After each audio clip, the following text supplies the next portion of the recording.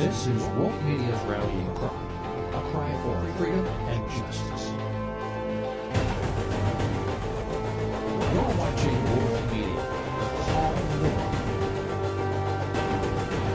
Call Wolf Media. Come to the free land.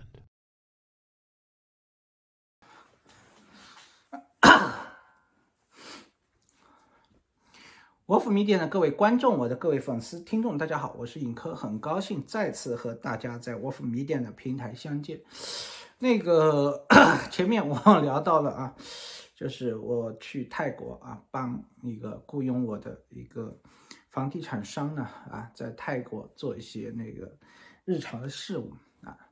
那么呃，后来呢，因为种种原因啊，我也呃觉得啊不是太适合啊。昨天我已经交代了。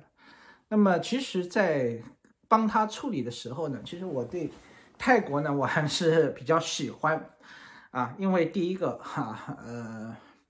就是物价比较低廉；第二个呢，其实景色也比较好；第三个啊，网络也比较自由。那么，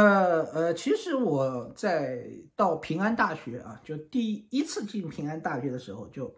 过香港啊，其实那个。呃，看一些那个互联网上的 YouTube 啊什么这种东西呢，我其实在什么时候就看了啊？就就第一次过过关啊，在一零年，大概一零年、零九年的时候啊，我就看了这些内容啊。那么，嗯，其实也呃没有没有说啊有太大的思想改变。在在泰国呢，北呢我到清迈啊，清迈、清莱、拜县啊，做了一个深度的旅游。南呢我到普吉岛啊，那么呃我还跑到了那个兰塔岛啊，因为我的那位老板啊，他后来在兰塔岛呢也盖了一个啊比较好的一个就是私人度假的一个会所啊，那个呃确实啊那那一块没有被开发过的土地。啊，确实特别的啊，让人啊心旷神怡。那么，呃，后来我在选择自己创业的时候，我更倾向于清莱啊，因为第一个，呃，清迈啊，第一个我我觉得清迈这个城市会更适合啊这种我的这种状态啊。那么我们呢，在古城内啊，就清清迈有个古城墙嘛，古城内呢。我们找了啊，就是跟那个阿里旅行的呃两个辞职的两个高管啊，我们就也不算高管吧，就大概那个时候是可能 M M 二 M 三的级别啊，就原来我那个阿里女朋友的那个呃我几个呃原来的下属啊，呃我那个原来阿里那个女朋友当初时候是呃跟我在一起的时候是 M 四啊，后来是升到 M 五啊。那么他的几个下属呢，我们一起啊，就开始了做一个呃，这个就是 酒店的项目，呃，其实也不叫酒店了啊，叫民宿啊，民宿的项目啊，呃，第一个项目里面是大概二十多个房间啊，第二个项目后面是三十二个房间。那么在那个阶段啊，加上阿里的流量的一个端口，加上阿里旅行的一个端口呢，其实是有一些流量。那么我呢？那个时候其实啊，因为我后我这不是在香港、澳门待着嘛，然后我手上呢就有大量的一千块港港港币啊港纸，去在泰国的时候呢，我就不用人民币换啊，我就喜欢用那也没有美金嘛，用港币换。后来呢，我发现就是这个换汇啊啊有很大的这个利益啊，就有很大的利润啊，在清迈还是有呃很多的这个利润。那么我呢，就是那选择了自己也开一个档口，啊，因为反正有那个呃呃那个民宿嘛，那么在民宿外面呢，我们隔了隔了啊，小小开一个档口，尝试着啊做这个。后来呢，也也呃确实生意也不错啊，因为我本来对，在这个资金处理上面啊就比较的那个有经验啊，那么有有一些那个，那么很快啊，我在清迈。啊，就很好的生活啊！我专门买了一个那个，就是因为那个时候就是觉得开车啊，清迈这个城市不大啊，我觉得开车没有必要啊，就选择了那个开买了辆哈雷啊，花了我七万八万铢吧，啊，就一万六千人民币啊，就买了个老的一个哈雷啊，就自己玩玩啊。那么呃，对清迈城也很熟啊，那么就慢慢的啊，也在那里自己也就扎根了。很，因为我这个人这个适应外来能力还是比较强啊，很快就扎根。那么很快啊，就是我从来不是一个惹事的人，但是呢，事情就惹了我。嗯，有一次啊啊，因为那个时候呢，就是大家创业啊，投了项目。我其实浙江铁创我是二零一四年就注册了啊，二零一四年的时候在银行的时候我就注册了啊，然后呢，再慢慢的做一些项目。那么很多的朋友呢。因为我在银行和金融领域的处理业务的能力啊，加上在杭州有一定的人脉呢，很多人啊都会跑到啊清迈啊，都会跑到泰国来跟我沟通一些事儿。那我呢有好多的朋友啊，那个时候是啊，就是谈笑有鸿儒，往来无白丁。那我呢就跑到那个长宁路、长康路那一带呢，就是吃饭啊，请朋友吃饭。那因为呢，泰国其实一个菜啊，就是一个菜呢，大概是。八十到九十铢啊，如果没有海鲜啊，八十到九十铢；如果一个炒面就六十铢啊，它这个呢大概跟那个就台币的价格是差不多的啊，就跟台币啊差不多，就人民币是一比五嘛，啊，跟泰铢跟台币其实一直以来都差不多。那么 我就选择在那个啊，我们几一般呢四个人啊点个六个菜啊，然后呢来个四个 coconut 啊，然后呢就在那里吃。然后呢有一次啊非常。有意思，吃完在吃饭吃到一半的时候，快结束了。吃完吃完一一半，我快结束。我呢喜欢早点把单买了啊，因为我怕别人跟我抢啊。到现在这个习惯还保留着。我吃到一半就把单去买了，宁可啊加菜，我第二次再补单啊，宁可是这样。那么呢，进来一个啊，大概比我儿子要小啊，比我儿子要大一点点。呃，那个时候我儿子可能才五六岁，他那个小姑娘大概七八岁。啊，一个七八岁的小姑娘走进来，哎，她说：“叔叔啊，她看我们在说讲中文啊，她说：‘叔叔，你这个菜还要不要？’我看了一下呢，大概还有三四个菜，有有有个大概半份啊，因为四个人点了六个菜，加上一些饮料呢，有确实有点多啊。小姑娘说：‘叔叔，你这些菜还要不要？’我说：‘怎么了？’她说：‘我还没吃饭啊。’那我这个人呢，啊，就天生啊啊有一种这种呃侠义心肠。那我看小姑娘中国人能讲中国话。”是吧？一看就是中国人啊。然后呢，我我我我就说啊，好吧，那我说你这样，我说你坐下来啊，我说你坐下来，你点菜，你想吃什么你点，等会儿叔叔买单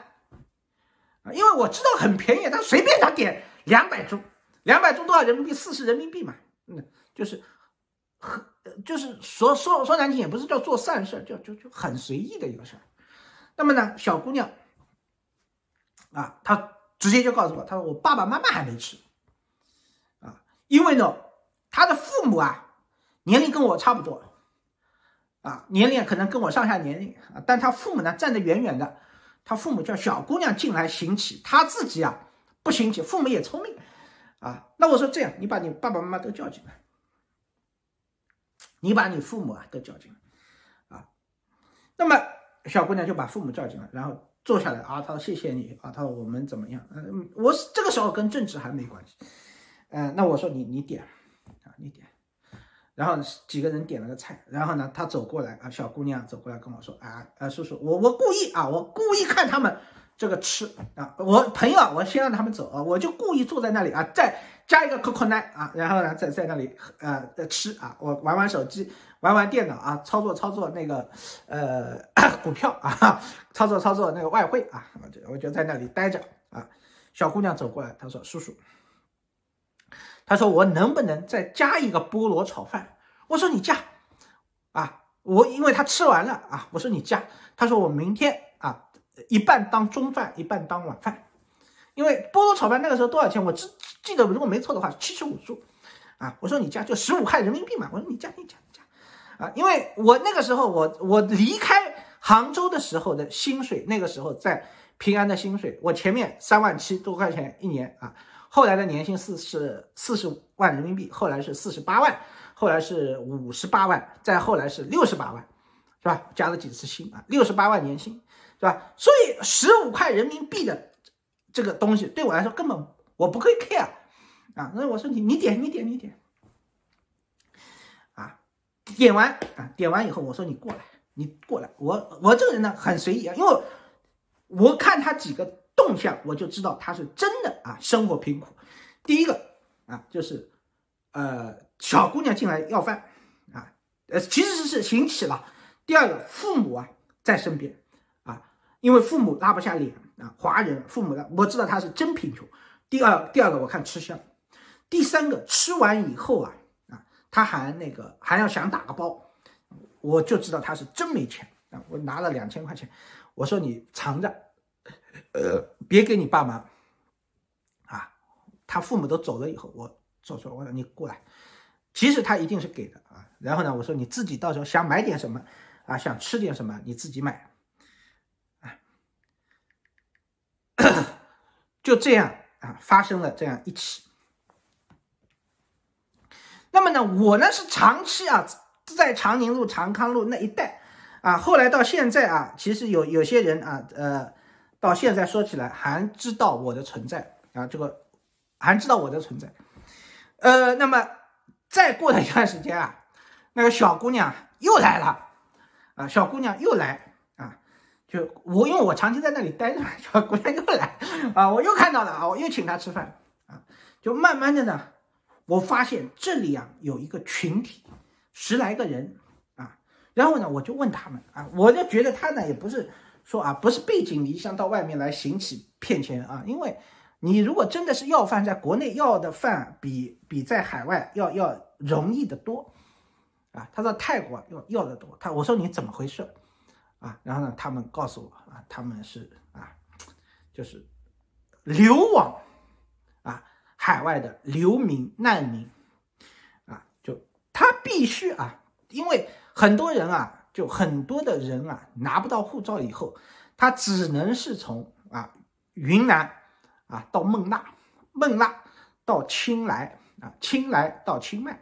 啊，清迈一定是他们中转的一关，有的人可能自己进来了。啊，子女没进来，哥哥进来了，妹妹没进来，啊，就这样一个处境啊，所以啊，小姑娘就跟我说，啊，他说啊，怎么样？他们有专门有个群落，而且他们来了以后没有护照，是黑的。那么他们申请了那个难民以后呢，啊，只去 UN 申请了身份以后呢，就有的啊一直在那个呃泰国曼谷待着，有的呢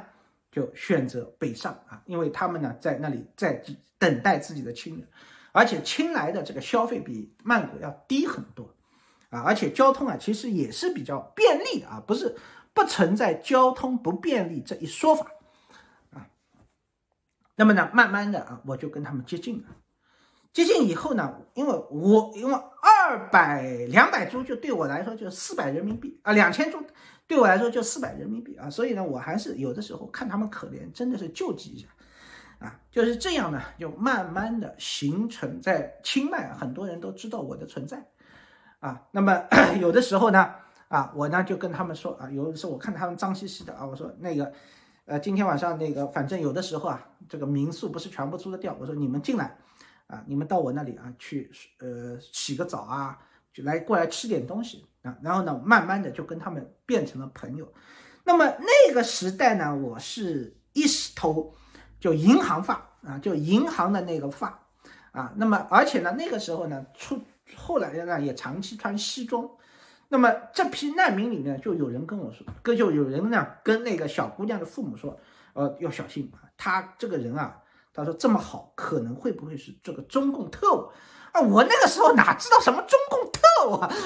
哎，我我我我跟他们扯啊，然后然后那个就慢慢的很多人就离我而就离得比较远。啊，离得比较远，但是呢，我呢一般在城北看到他们呢，就北就清迈不是有个城墙嘛，我在城北看到他们呢，哎，我有的时候啊，哎，我说你们饭吃了没有？啊，我说没吃，来过来过来过来，呃，就其实很便宜嘛，那个凤飞飞猪脚饭一个猪脚饭三十铢嘛，是吧？但是他们的吃相 确实难看啊，因为有的时候确实很苦。那么后来我知道他们的这种状况。啊，比我想的要糟得多，啊，那么下一下一期我们再来讲